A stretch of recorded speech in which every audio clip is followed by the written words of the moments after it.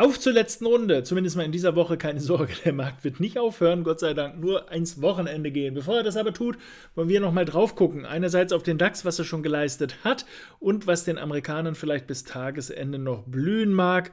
Und dann können wir mal ein bisschen schauen, was man daraus vielleicht noch, noch hinbekommt.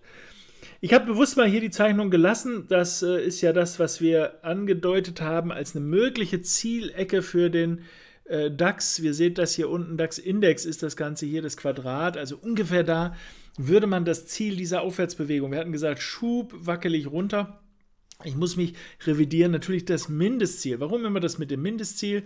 Klar, wenn das die erste Welle ist, dann kann die C-Welle, die ist häufig genauso lang, also so ungefähr in diese Kiste rein. Wenn es natürlich eine dritte Welle wird, das wissen wir ja zu dem Zeitpunkt nicht, dann kann die auch deutlich länger gehen. Das ist jetzt nur mal ein Beispiel, das nicht bitte jetzt genau nehmen, wo die Kurse da liegen, kann auch so aussehen oder was weiß ich was.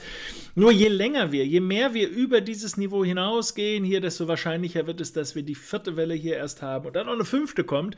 Und das wiederum wäre gar nicht so uncool, denn das würde zumindest ein bisschen suggerieren, dass diese Bewegung, die wir jetzt hier haben, das abschließt, was wir hier als Korrektur haben und dass wir tatsächlich sogar schon auf dem bullischen Pfad weiter wandeln können. Der DAX ist da der beste äh, mit den besten Ambitionen auf dem Weg nach oben. Also im Moment sehe ich nicht, dass der Kurs hier dreht, also wie auch, gibt also keinen Grund weiterhin, auch nicht an dieser Linie hier pauschal short zu gehen, da bin ich kein großer Fan davon es ist ja immer nur ein Angebot, das im Bereich solcher Linien der Markt dreht. Jetzt haben wir hier ein zugegeben nicht enges Cluster. Ich zeige euch gleich mal was Schöneres, wo es wirklich eng aussieht.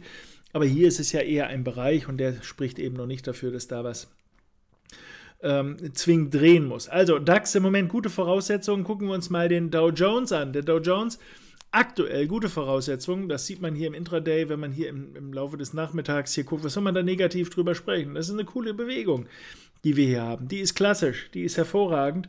Und äh, da spricht eigentlich nichts dagegen, dass der Markt vorläufig weiter nach oben geht, außer das Bild, was wir hier haben. Das ist nicht optimal. Jetzt allerdings für den Nachmittag zu shorten und wir wollen bei dieser Analyse beim Nachmittag bleiben. Ich werde am Wochenende und äh, reisebedingt wahrscheinlich schon heute Abend oder spätestens dann bis morgen ein Video für euch vorbereiten, wo ihr dann das übergeordnete Bild sehen könnt. Also das will ich jetzt nicht vorwegnehmen, sonst wird dieses Video zu lang. Aktuell, aber für die, die jetzt in diesem Moment aktiv sein wollen, null Grund auf die Shortseite zu wechseln. Kann man also noch kaufen. Hm, also in diesem Chart würde ich nicht mehr kaufen. Würde ist so eine Sache, werde ich nicht mehr kaufen. Wir sind schon so weit gelaufen. Das kann noch locker weitergehen, auch noch 100, noch 200, noch 300 Punkte. Aber da jetzt einzusteigen ist doof. Aber das heißt ja nicht, dass ich nicht mehr kaufen kann. Dann muss ich aber gucken, dass ich auf einer kleineren Ebene wieder schaue, dass ich dann hier irgendwie sowas sehe, wo ich dann wieder Aufhängungspunkte finde. Die sind nicht immer da, aber immer dann, wenn ich das sehe, wenn ich was Dreiwilliges sehe gegen den Trend, und das ge gebrochen wird, getriggert wird, dann ist das ein Indiz. Es ist nicht immer zu erkennen. Hier zum Beispiel ist es ziemlich mühsam gewesen, das zu erkennen. Aber wenn ihr es erkennt, ist das eine Hilfestellung. Ich möchte nicht, dass es falsch verstanden wird. Ja, aber da hättest du doch auch nicht. Ja, ganz häufig hätte ich nicht oder habe ich auch nicht in so einer Situation gehandelt.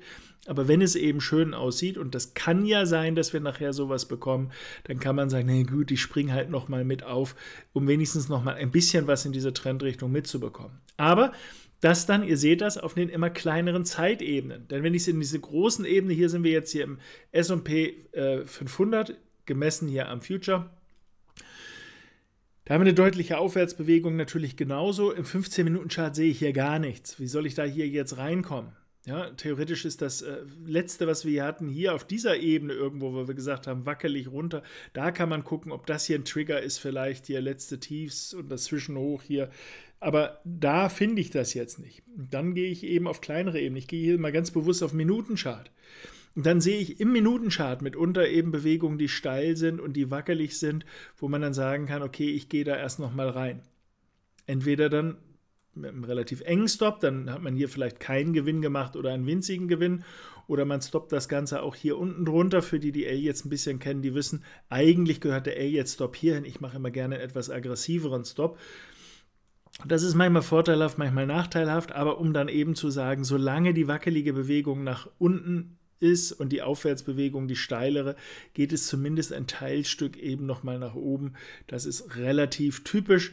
Ob man es unbedingt auf Minute handeln muss, ist eine andere Geschichte. Aber wenn ich im Übergeordneten sonst nichts finde, ist es besser, überhaupt hier irgendwie was zu finden. Hier vorne zum Beispiel ist wieder relativ deutlich.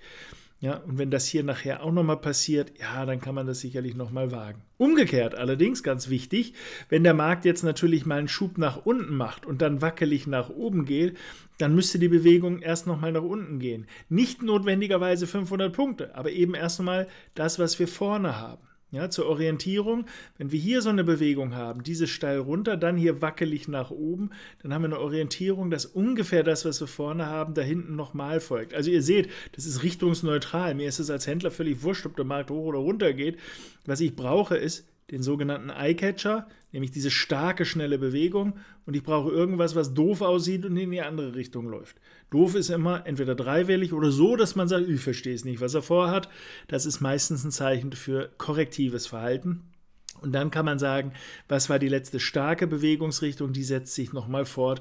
Das wäre das. Also ich bin hier gar nicht so sehr eingeschossen jetzt auf die Long-Seite, sondern ich bin jetzt eingeschossen auf ein Bild, das idealerweise möglichst stark in die Aufwärtsrichtung, möglichst wackelig in die Abwärts.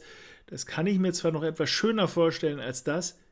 Der hat auch immer was zum Maulen, der Born. Wieso schöner? Naja, je mehr es ausgeprägt so aussieht, hier sieht man das ein bisschen besser von diesen, von diesen Bewegungsabläufen als jetzt da. Das ist eher so, naja, hier haben wir so eine halbe Fläche.